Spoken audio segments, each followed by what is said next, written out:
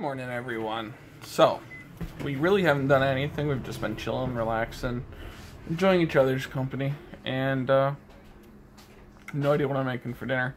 Well, if you want soup, so I think we're just gonna get a couple cans of soup for her, and anyone else wants it, and I don't know what else.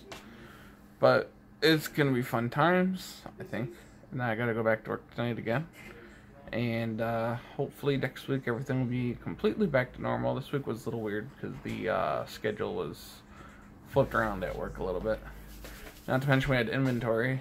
That's always fun. Anyone who works retail can uh, uh, attest to that. So regular daily vlogs. I don't know when they're gonna be back. Like everyday thing with the uh, quote of the day and all the other good stuff. But I want to bring them back. My computer's being a little finicky, so I can't really edit anything right now. I gotta figure out what's going on with it. I think I might need to replace the power supply already.